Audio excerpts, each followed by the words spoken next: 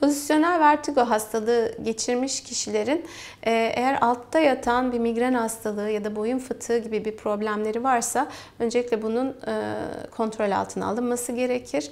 E, bunun dışında diyete dikkat etmeleri, aşırı kafein ve alkol tüketiminden kaçınmaları gerekir. E, yine uyku düzeninin sağlanması e, ve aşırı stresten mümkün olduğunca uzak durulması faydalıdır.